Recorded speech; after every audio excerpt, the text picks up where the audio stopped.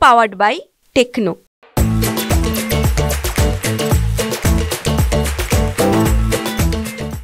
शिवराज्य यात्रेनिमित्त या ठिकाणी हा- खासदार अमोल कोल्हे आलेले आहेत. कशा प्रकारे दौरा आहे त्यांचा या ठिकाणी आपण जाणून घेणार आहे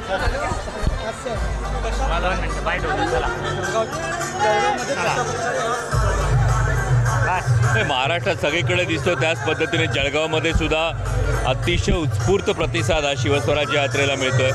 आणि सर्वसामान्य नागरिकांनी तरुणांनी माता भगिनींनी हा निर्णय घेतला आहे की आता काही झालं तरी महाराष्ट्रात महाविकास आघाडीचंच सरकार येणार आहे. किती जागेचा दावा असेल यावेळी? किती जागा या थोडं अजून रंग चढू द्या मग नक्की जागांचा आकडा समोर येईल. पण आत्ता जे चित्र दिसतंय एवढ्या रात्री उशिरा आता आपण बोदवडमध्ये आहोत. बोदवडमध्ये एक तास झाला आहे लाइट घालवण्यात आलेली आहे. आणि तरीसुद्धा इतक्या मोठ्या संख्येनं तरुणाई ही रस्त्यावर शिवस्वराज यात्रेच्या स्वागतासाठी उभी आहे.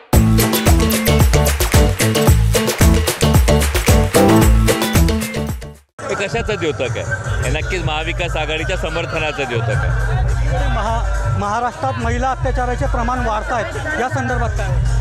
हे अत्यंत दुर्दैवी हे प्रकरण आहे आणि जर आपण बघितलं तर सातत्यानं या घटनांमध्ये वाढ होत आहे ज्या जेव्हा सरकारमध्ये सुद्धा ज्यांच्यावर महिलांवरच्या अत्याचाराचे आरोप केले गेले अशा व्यक्ती जर मंत्रिपद भूषवत असतील तर नक्की आपण महाराष्ट्राला राज्याला काय संदेश देतो आहोत? हा सुद्धा एक विचार होणं फार महत्त्वाची गोष्ट आहे. आणि ज्या पद्धतीनं महिलांवरच्या अत्याचाराच्या घटना या दिवसेंदिवस वाढत चालले नक्की चिंताजनक आहे. आणि हे गृह मंत्रालयाचं हे सपशेल अपयश आहे हे प्रामाणिकपणे कबूल करावं लागेल. लोकसभेत महायुतीला मोठा फटका बसलेला होता. यावेळी लोकसभेला महायुतीला जेवढा मोठा फटका बसला होता त्याहीपेक्षा जास्त मोठा फटका हा विधानसभेला नक्कीच बसेल. कारण लोकसभेला किमान माननीय पंतप्रधान नरेंद्रजी मोदी हे नेतृत्व करणार. हा चेहरा तरी समोर होता.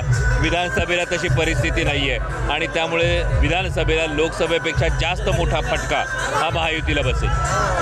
रोहिणी खडसे यांचं आम भावी आमदार म्हणून बॅनर या ठिकाणी झळकलेलं आहे रोहिणी खडसे यांचं भावी आमदार म्हणून बॅनर झळक नक्कीच रोहिणीताई आमच्या महिलांच्या प्रदेशच्या अध्यक्ष आहेत आणि गेल्या वेळेस त्यांनी ही निवडणूक विधानसभेची निवडणूक लढवली होती.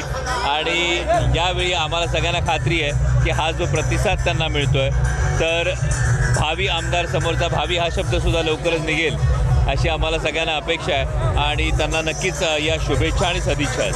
सगळ्या फोडाफोडीच्या राजकारणामुळे महायुतीमध्ये आता सध्या वातावरण तपतं आहे का महायुतीमध्ये आलबेल नाही ही गोष्ट स्पष्ट समोर येते. आजही मावळच्या आमदारांनी जे विधान केलं किंवा सातत्यानं ज्या कुरबुरी महायुतीतल्या समोर येत आहेत याचं एक महत्त्वाचं कारण हेच आहे की जे सर्वे समोर आलेत या सर्वेजमध्ये महायुती जेमतेम शंभर ते एकशे दहा जागांच्या पलीकडे जात नाही. त्यामुळे महायुतीचा पराभव अटळ आहे ही गोष्ट समोर येते. आणि त्यामुळे या अंतर्गत कुरबुरींमध्ये वाढ झाली आहे आणि त्यातून अशी विधानं होत राहतात. हे होते Amol Kolhe Ravi Gore T V Marathi Bodwad Jalgaon. Co powered by techno.